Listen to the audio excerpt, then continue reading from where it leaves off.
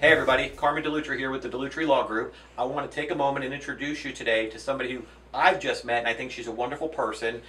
Her name's Angie, also known as Mama Badger, which is a story in and of itself. I would like to, to introduce her to you, but I think it'd be better if she introduces herself. So Angie, if you don't mind, introduce yourself All to right. everybody. Thank you. Thank you for having me on here. So Angie, Mama Badger. I own Badger's Business Solutions with my husband. Um, but we also have um, what we call our Facebook page, The Badgers and the Biker Lifestyle. And because of that page, it had us grow a website called supportbikers.com.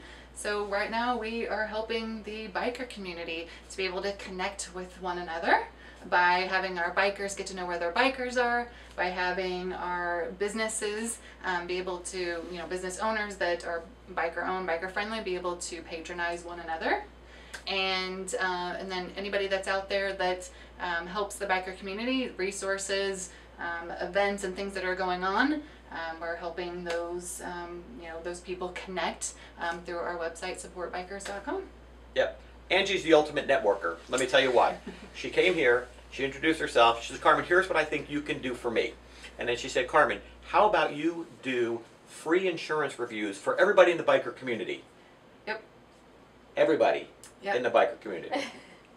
Everybody. She has 108,000 followers on Facebook, folks.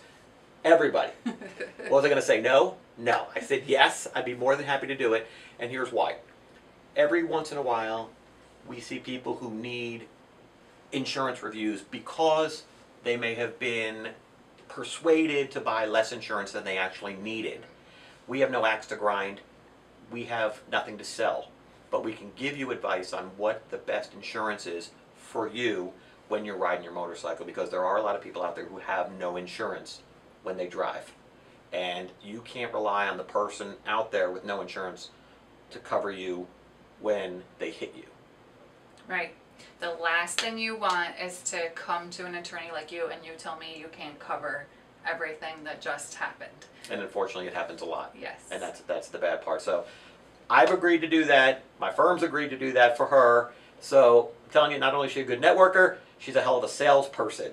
So, Angie, I just want to say thank you. Yeah. And I just want you guys to know that I have given him our insurance policy for us to take a look at as well. So, yes, thank you. Well, thank you. Yes. I appreciate you coming on today. Bye bye. Thanks.